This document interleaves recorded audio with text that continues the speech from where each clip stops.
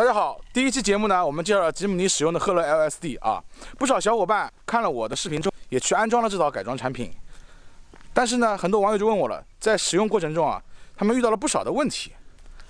那这一期呢，我就来为大家详细的讲解一下使用教程。One two three，一起来！你是我的花朵，我要拥有你。插在我心窝，哦，你是我的花朵，转转转。Get him out of here! Get out! 首先呢，很多小伙伴啊对赫勒的后 LSD 有些误解，认为遇到过不去的地方要先开后锁。实际上这是很多人的误区。过不去，首先你得开四驱啊，对不对？我们拿越野标杆大锯来说吧，遇到过不去的地方，首先开的就是中央差速锁。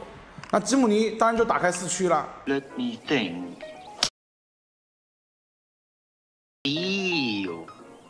对于吉姆尼的改装啊，很多人一开始要改的就是大轮胎、硬锁，典型的欧美硬派风格。而常规差速锁首选就是 ARB 啦，对吧？牙线式硬锁，在越野圈内最容易被人忽略的改装风格就是日系的改装风格，和国内流行的欧美硬派风格呢大相径庭，以实用为主，所以。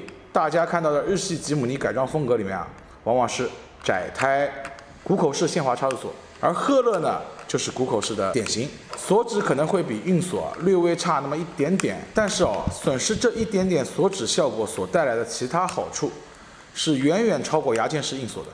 牙签式硬锁的性能呢非常强悍，但这个呢是有代价的啊，拐弯困难、推头严重啊，稍有不慎呢，甚至会出现断轴的情况，断轴啊，断轴啊。越野过程中呢，经常要开关差速锁，很麻烦。其实呢，赫勒的后 LSD 是一个高效的限滑，性能呢接近了锁止。为什么他们设定不完全锁止呢？呃，个人看来啊，这其实是一个很人性化的设计。大家都知道，我们吉姆尼平时都是后驱行驶的，对吧？如果后驱状态下后桥完全锁止了，车子照样是无法正常行驶的。但是呢，赫勒 LSD 可以给你的效果就是。应对各种打滑路面的情况下，依然可以保留差速锁的效果，既可以抑制打滑，又可以正常行驶。赫勒的 LSD 两驱就几乎可以达到原车四驱的效果，所以呢，有时候我们可以不用开去四驱，就可以通过一些障碍物。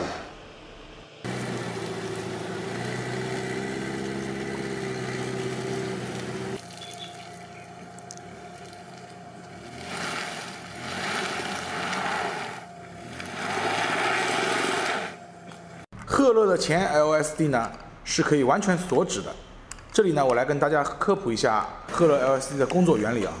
在四驱模式下，前 LSD 以机械式的方式时刻感知着后桥对车辆的驱动效率。也就是说，如果后桥打滑了，前桥会马上锁止，加强前桥驱动能力，使车辆通过打滑区域后桥恢复抓地力以后啊，前桥就会马上切换回限滑状态。前后 LSD 的配合非常的高效，基本接近了硬锁的效果。赫勒差速锁系统的设计理念呢，就是前后搭配使用的，以达到时长限滑、越野时自动锁止的目的。啊，装一个的话呢，就相当于装了半套系统。所以啊，我认为应该前后一起安装，可以达到更好的效果。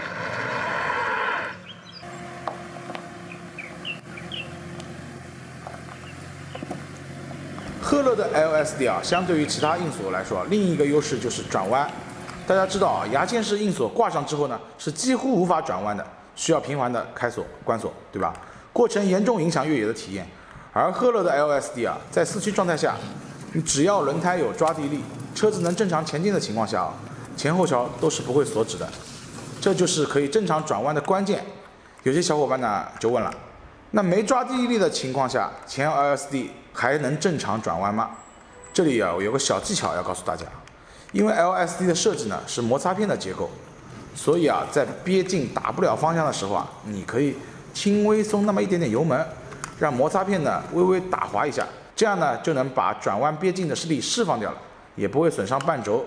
力释放掉之后呢，依旧可以在转弯的状态下保持锁止。这些锁止和限滑的操作是完全不需要人为去开关的啊，你只需要控制油门就行。非常的方便。现在我们切换到四驱啊，看看赫勒的前 LSD 转弯会怎么样？我们过一个标准的直角转弯啊。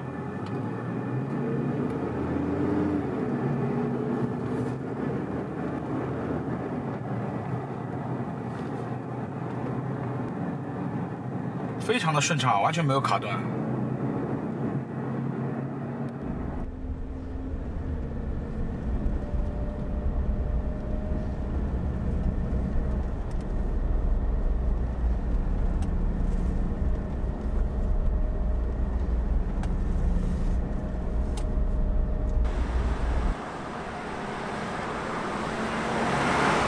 最后呢，还有些网友问我，赫勒 LCD 的故障率和使用寿命怎么样？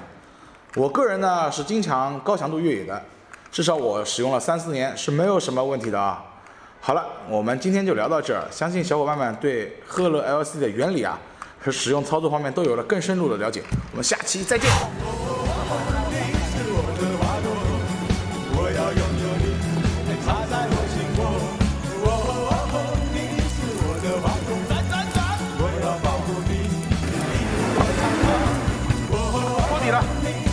花朵就算你身边有很多小事